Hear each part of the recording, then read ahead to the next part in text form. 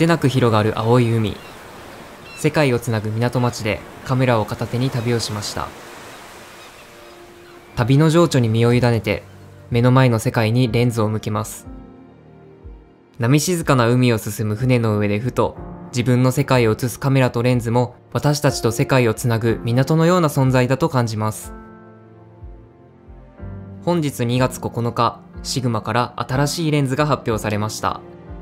20mmF2DGDN コンテンポラリーです。i シリーズでは7本目となる超広角の単焦点レンズです。すでに私たちの動画でも語り尽くした i シリーズの魅力はそのままに満を持して登場した 20mm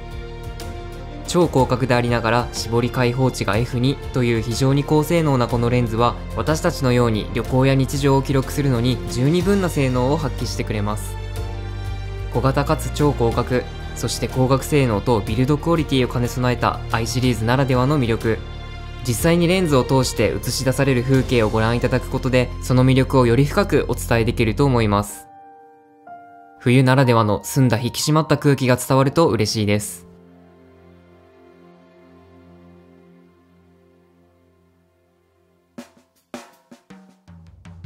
立春を過ぎて暦の上では春の季節になりましたが朝晩はまだまだ冷え込みます。今回はちょっと足を伸ばして神奈川県の南にある三浦半島の先の方まで行くことにしました。FP にこの 20mmF2 のレンズだけをつけて非常にコンパクトなスタイルで軽快に撮影を楽しむことができました。静岡県の伊豆へ訪れた際も感じましたが海岸の風変わりな地形にいつも不思議な魅力を感じています。途方もない長い歳月をかけて幾重にも地層が形成されてきた様子は理屈では分かっていますが想像もつきません。この日はいつもより暖かく海沿いはひんやり心地よい風が吹いていて気持ちがいいです。夏ほどじっとりとせず冷たい風が案外悪くありません。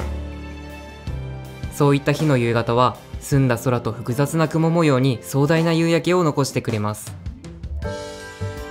少し日は遡りますが神戸へも足を運びました。港町として栄えた神戸は遊覧船や帆船など様々な形の船が停泊していて港近くの雰囲気がとても気に入りました。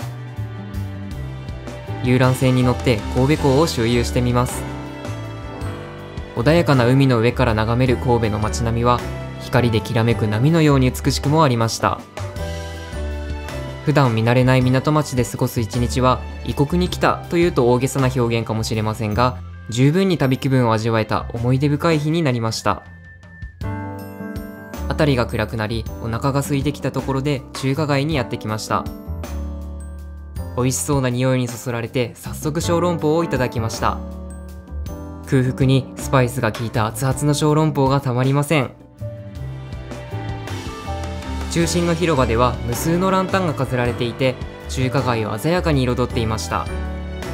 様々な料理のお店が軒を連ねていて美味しそうな料理と賑やかな雰囲気で少しだけ寒さを忘れることができました。都会の旅で楽しみなのが夜の時間。夜景やネオンが輝く街並みを安心して撮影できたのも開放地 F2 のおかげです。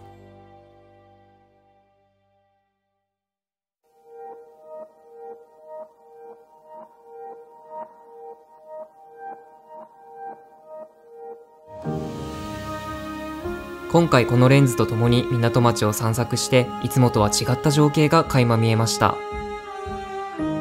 超広角レンズならではの広々とした映像表現は映像作品を作っていく上での大きな醍醐味の一つです。特にカメラワークや動きが加わることで感じられるダイナミックな表現はこの焦点距離ならではの表現です。この 20mm のレンズではコンパクトなサイズながらもその醍醐味を存分に味わうことができました。伝えたいものをフレームに広く収めることができ開放値 F2 のおかげで暗がりでも光を捉えて丁寧に描写する能力には驚かされます。そのような高性能なレンズが i シリーズとして発表されたことを非常に嬉しく思っています。コンパクトなサイズと高い質感が融合したレンズボディは存分に所有欲を満たしてくれます。I シリーズのレンズは合計で7本となりました。この7本という数多くの選択肢から日々理想の1本を手にする喜びは日常をより豊かにしてくれるに違いありません。今回の 20mm のレンズは目の前に果てしなく広がる世界を広く美しくも繊細に記録します。旅情をかきたてられる港から始まるのと同じように自分と世界をつなぐ旅はきっと自分のレンズ選びから始まるはずです。